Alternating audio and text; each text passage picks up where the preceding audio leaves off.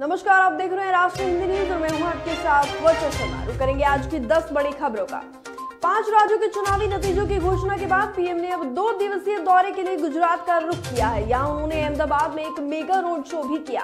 पश्चिम बंगाल के खड़गपुर शहर के वार्ड नंबर 26 के डेवलपमेंट इलाके में मौजूद बीजेपी कार्यालय में गुरुवार की मध्य रात आग लग गई, जिसमें भाजपा कार्यालय जलकर राख हो गया। घटना के बाद बीजेपी समर्थकों में रोष देखा गया।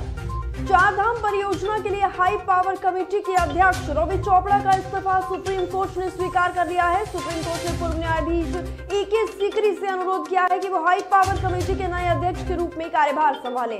राष्ट्रीय बजरंग दल के संस्थापक सदस्य और मुखिया प्रवीण तोगड़िया इंदौर पहुँचे। उनके पहुँचने के साथ ही मंदिर परिसर में बड़ी संख्या में उपस्थित लोगों ने उनका फूल और माला से स्वागत किया।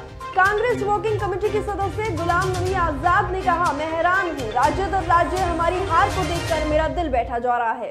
पंजाब विधानसभा चुनाव में आम आदमी पार्टी ने प्रचंड बहुमत के साथ जीत हासिल की। राज्य में आपकी सरकार पहली बार बनने जा रही है। अरविंद केजरीवाल नीट आप पंजाब की 117 सदस्यीय विधानसभा में बानवे सीट जीतकर सबसे बड़ी पार्टी बनकर उभरी है। उत्तर प्रदेश चुनाव में इस बार कांग्रेस को सिर्फ़ और सिर्फ़ दो से संतोष करना पड़ा है। प्रियंका गांधी वाड्रा के नेतृत्व में चुनावी मैदान में उतरने वाली कांग्रेस को उत्तर प्रदेश में इतिहास की सबसे बुरी हार झेलनी पड़ी। देश में पिछले 24 घंटे में कोरोना के चार हज़ार एक सौ चौरानवे नए मामले सामने आए और 255 लोगों की मौत हो गई। वहीं 6,208 लोग कोरोना से ठीक हुए।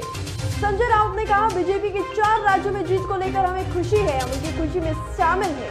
लेकिन उत्तराखंड के मुख्यमंत्री क्यों हार गए? गोवा में दो उप मुख्यमंत्री क्यों हार गए? हम तीन राज्यों में हार गए, लेकिन हमारी हार तो बस एक हार रूस और यूक्रेन के बीच जारी जंग थमने के बजाय और ज़्यादा भीषण हो सकती है। एक तरफ़ यूक्रेन ने दावा किया है कि उसने रूस के हज़ारों सैनिकों को मार गिराया है तो दूसरी तरफ़ रूस ने भी बड़ा फैसला ले लिया है। अब वो इस लड़ाई में विदेशी लड़ाकों को भी शामिल करेगा।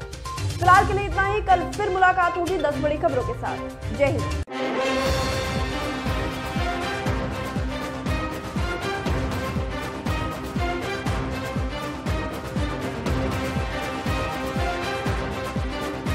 आप देख रहे हैं राष्ट्रीय हिंदी न्यूज़।